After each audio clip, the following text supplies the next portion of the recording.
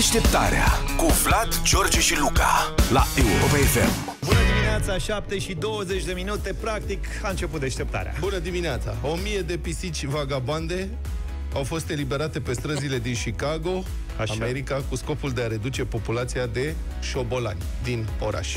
Au Orașul băgat este- artileria grea. Da, e infestat și au... La Chicago sunt șobolani, domnule? Da, mulți. Și s-au Incredibil. deschis, practic s-au deschis porțile adăposturilor și le-au zis, creșteți și vă mulțiți pisicile mele, mereți pe străzi și programul se numește Cats at Work. Pisici muncitoare, cum ar veni, pisici la muncă. Ceea ce cred că ele nu știu. Adică speranța că pisicile se vor duce să muncească și să prindă șobolani, mi se pare nebazată pe nimic în realitate. Adică cine a făcut asta, cred că n-a avut o pisică în viața lui. Mm, Eu cred că o fac de plăcere. Să Au- aibă pisici Să aibă Să- pisici, da. să fie sclavi, să devină sclav de pisici. Deci tu crezi că pisicile alea toante, ele, ele ar fi atât de fraiere încât într-un oraș cu câte milioane de locuitori are Chicago, că nu știu, Pisicile se adaptează. să nu-și găsească niște sclavi imediat care să le hrănească cu pliculeț și să trăiască să se lupte cu monstruozitățile alea? O parte dintre ele o vor face de plăcere. Plăcerea de a prinde. Ce plăcere! Le-a Eu, vâna. nu- asta e o prostie totală. Deci, eu nu am auzit, n-am văzut, nu știu de vreo pisică să fie atacat vreodată sau măcar să fie uitat urât la un șobolan. Șoricei poate. Am văzut Șoricei, eu. vrăbiuțe. Unde, mă? La țară, la bunici. Șobolan. Șobolan. Ce vrei, mă? Bunici. Ai zis la bunici. Am să zic la bunica mea și mi-a La ieșit că bunicii ai mei, zis- da, ce n-am. mi-a Că ieșit aveau o șobolani. combinată. Dar eu cred Nu că... aveau șobolani neapărat. La țară, în general, unde se mai cresc găini și tot felul de chestii de genul ăsta, apar și șobolanii. și de asta e bine să ai o pisică sau mai multe. O pisică în nu, lupta mănânc, cu nu șobolanii. atacă șobolanul. Șobolanul e Cum să jumătate, ne uneori e atacem? cât toată pisica. Da, e cât pisica. Nu de se bagă. Sunt parte în parte.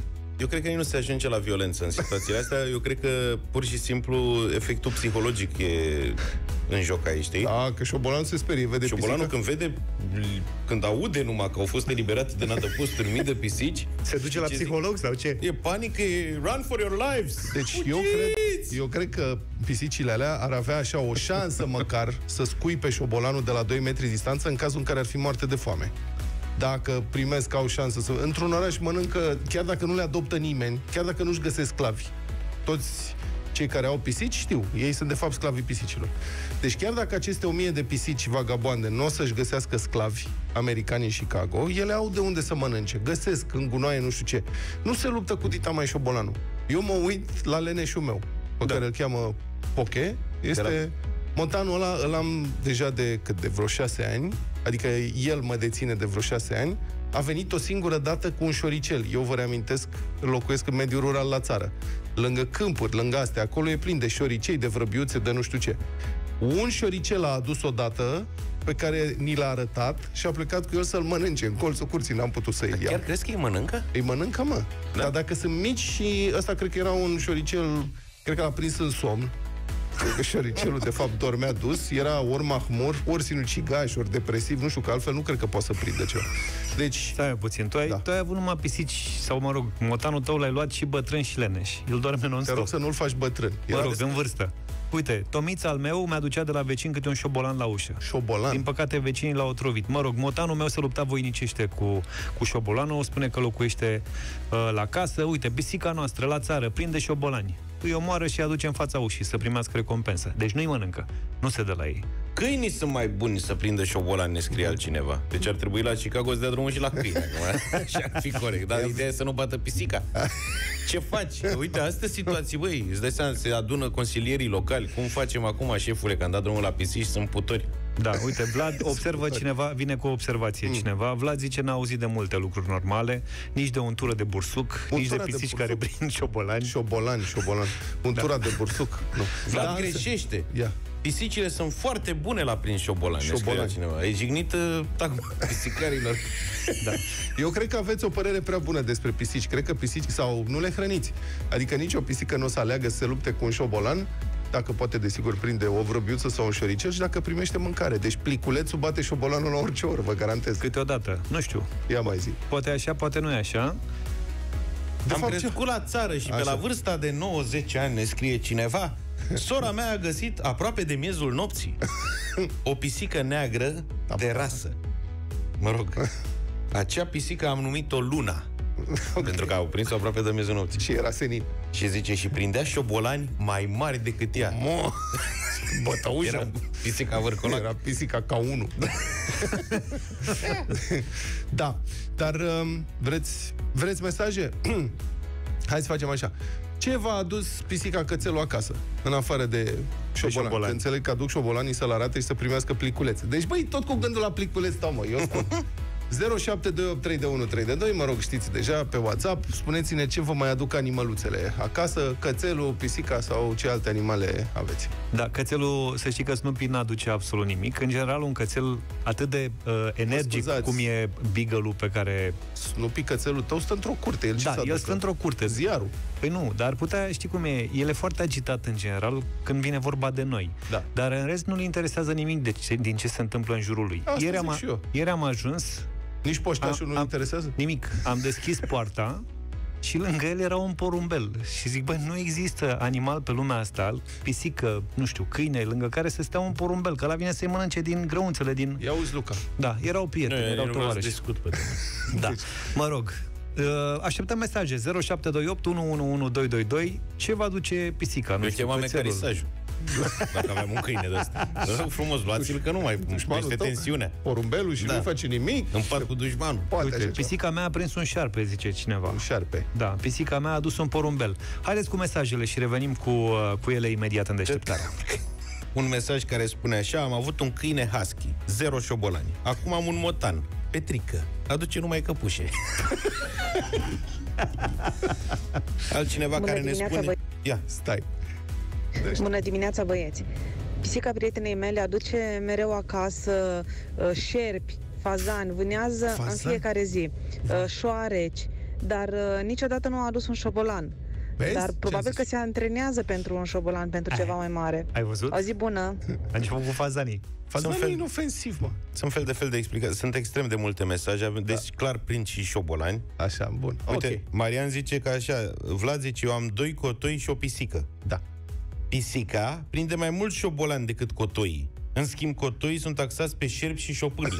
Deci, iată, pare Fiecare că sunt niște preferințe. pe Special- domeniul lui. Da. Specializați, mă. Exact. Păi, una e vorba aia să Bună. fii vânător, una e să fii vânător, să te duci să tragi la prepeliță, alta, ca domnul Adrian Năstase, la urs sau la mistreț care vine în bătaia puștii, nu? Da. Bună dimineața! Uh, vă vine să credeți sau nu, pisicile și câinii vânează cele mai ciudate lucruri. Așa. Uh, ca și idee, apropo de bunici, câinele bunicului a prins un dihor. Un tihor. E adevărat că a fost mușcat și după aia nu mai fost câinele, dar uh, dihorul a ajuns împăiat. A fost unul De unu. ciudă bunicul împăiat. Și Iar câinele? pisicile mărtanii, că erau niște pisici foarte mari, uh, ale bunicilor mei, uh, prindeau șobolani. Pe bune, prindeau șobolani și chiar îi aliniau acolo în fața casei ca să vadă stăpânul cât îți de drăguț și să mai primească ceva mâncare. Mărtani, n-am mai auzit asta cu mărtan. Ne recomandă Călin Fox Terrierul. Zice că un Fox Terrier în curte face treaba a 10 pisici. Da, și Nici două- muște nu o să mai aveți. Da, și sapă și, și, sapă și tranșee și tuneluri. Îți face toată apărarea, face lucrare completă. Și mănâncă și cât 40 de pisici, Cred că da. eventual. Bună dimineața, băieți! E Sebastian din Tel Aviv. Eh, Eu am avut un motan care fura, fura ciorapi de la, de la vecin după sârmă și îi aducea la noi acasă. Nu știu cum, care erau de unde îi spălați? fura și cum mai aducea, dar fura ciorapi. Odată a adus și un, uh, și un, un prosop de ăsta mai mititel acasă la... îi de aducea nevestei mele, aducea probabil uh, de cadouri. S-a orientat. Vă salut! Mulțumim frumos. Am avut o pisică, m, eram mic, a făcut, făcut o pasiune pentru niște pulovere de mohair pe care le mai spălau vecinii și a trebuit să fac o excursie lungă la o tabără Brașov. Apropo de vecini, uite, cineva spune că pisica i-a adus porumbelul altei vecine. Era din acela care se eliberează la anunți. Porumbelul. și vă dați seama ce ceartă a fost. Adică n-a mâncat un porumbel oarecare. Porbel marital. Da. Bună dimineața, băieți! Mihai sunt din Germania. Eu deloc sunt din Sibiu, de lângă Sibiu, într-o comună. Am avut o pisică, o himaleziană, Monkey îl chema, se numea. Ăla a omorat și dihor, nu numai șobolani. Și în fiecare, Ce fiară. de fiecare dată când îi omora, ea ducea la ușă și aștepta o recompensă. Deci nu există pisici puturoase. Rar, numai alea care sunt crescute precum poche. o zi bună, la revedere! Ah, acum să vă spun ceva. Poche, el săracul pe el îl cheamă Poche pentru că a apărut la noi în curte când era nebunia aia cu Pokémon. Uh-huh. A apărut de nicăieri, pur și simplu. Și l-am dus... L-ați și- vânat întâi, eu? Nu s-a ciudat, a venit, era foarte lipicios, drăguț foc, cum e fața lui. Și l-am dus la veterinar atunci să-l verifice, să nu știe. Era vai de steaua lui, plin de cicatrici, de răni, avea râie în urechi, îi lipsea un dinte și veterinarul ne-a spus, ăsta este un motan care are deja 8 ani. Deci el a venit, el cred că avusese o viață foarte dificilă până la vârsta aia, adică probabil că se hrănise și cu râme bietul de el ca să m- m- supraviețuiască. Așa că eu îl înțeleg pe Poche acum, că nu-l mai interesează vâneze și preferă pliculețul și crânțănelele. E la pensie, cum ar veni. Da, adică, adică băi, mi-am trăit traiul, acum Exact. vreau un trai liniștit cu pliculeț. Multe lucruri. Bună dimineața, băieți! Am avut un cotoi, îl chema Zoro. Deci dacă intrai în curte, te rupea cu bătaia, sărea pe tine, îți umfla ochii. Dar în momentul în care vedea un șoricel sau, nu mai zic șobolan, rupea cap tabla după casă, sărea pe, pe, pe casă și fugea de, ieșeau scântei din ghearele lui pe tabla aia. Îi spui de șoarici, ăștia sunt pisoi pentru șoarici. Numai probleme. Deci, un fel de fel. Uite, altcineva, Ciprian din Bârlat, zice că a avut odată un motan, Mișu, Mișu. care aducea acasă jumătăți de pui și raguri de cremvuri și bucăți de caș de la vecinul care lăsa ușa deschisă la bucătărie. Deci, Frăcioși sunt. Am găsit mai multe mesaje de genul ăsta. Pisica mea mi-a adus zilele trecute o cârtiță. O cârtiță. Da, Sunt- pisici care vâneză cârtiță. nenumărate mărturii cu râme, dar apropo de ce zicea cineva mai devreme, cu fel de fel. Și uite, mai avem și unul cu un cățel, zice, când eram copil la țară a venit cățelul cu borcanul cu jumări în cap. Adică băgase capul în el și nu mai mă, putea să-l scoată. Săracii de ei fac asta, că sunt tălâmbi. Pisica mea a venit mușcată de șobolan, de două ori. Dar de unde știe că era de șobolan? Mușcat. O fi verificat, nu știu. Mi-aduce șerpi, șoareci, șopârle.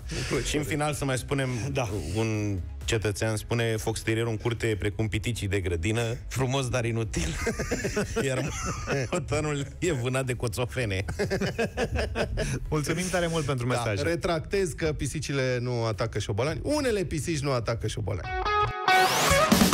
Deșteptarea cu Vlad, George și Luca la Europa FM.